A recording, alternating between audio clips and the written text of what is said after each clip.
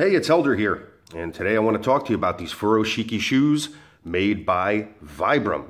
Uh, Vibram or Vibram. I've been calling them Vibram since approximately 1991 when I entered the United States Marine Corps, and the soles of our boots were manufactured by Vibram. And once again, I got to trust the name.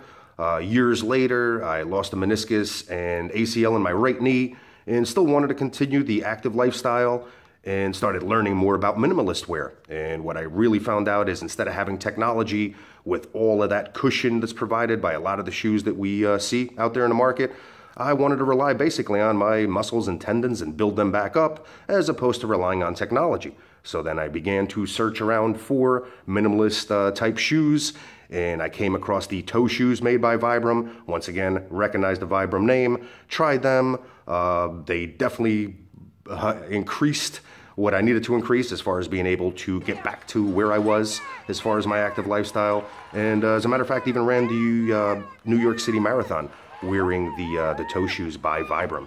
So once again, let's get into more detail about these Furoshikis and uh, I'll share some details with you and find out that maybe this might be a good shoe that you want to add to your minimalist uh, repertoire. So let's get started. All right, so first off, as you could tell, I don't think that these shoes are gonna win any beauty contests anytime soon, but those of you that do know me know that I take function over fashion uh, any day of the week. Now, the fact that these are minimalist, uh, there is a zero drop as far as the heel is concerned. So the level that's here on the front extends all the way through the shoe. There's no rise, there's no high heel, as I usually refer to it.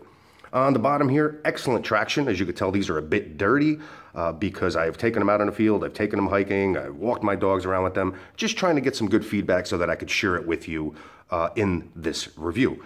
So once again, sole very good to go, good grip, good traction. As you can tell, it almost runs up the whole side of the shoe.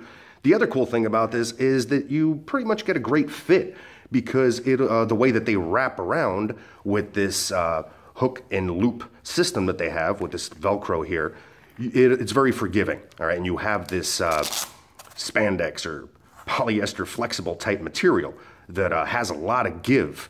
That uh, once again, uh, those of us that might have uh, feet that are a little bit misshapen, for uh, lack of a better word, these are uh, very accommodating, uh, to say the least. Now, these shoes are very well made, so they are minimalist. As you can tell, they fold up super easy in my hand. And uh, what I like about them is I can use them as my primary shoe, let's say for hiking, uh, especially in areas where I'm going through water. Because of this material, it uh, dries very, uh, very quickly. So once again, if I'm out there, even in a fishing scenario, uh, certain lakes with rocky bottoms, certain beaches with rocky bottoms, I can utilize these, go into the water, know that I could take them off. They'll dry relatively quickly. The other thing is, as a backup shoe, uh, for those of you that like to wear boots while you're out there hiking, and uh, you pretty much know that when you have those little breaks R and R, or especially if you're out there for a two or three day trek, these are excellent to once again fit in your pack because they're super lightweight and at the same time fold and pack up quite compact.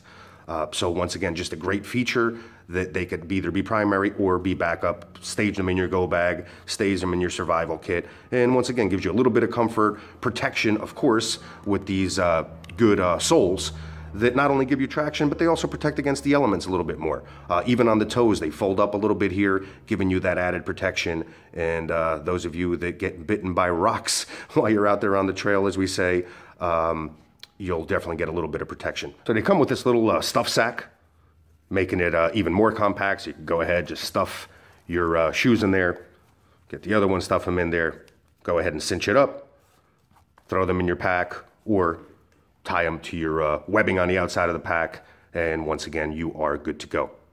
So bottom line, if you're looking for a minimalist shoe to hike with, run with, outdoor activity, or even just as a backup shoe when you are out there in the field and want to change it to something more comfortable, uh, take a uh, closer look at these uh, furoshikis.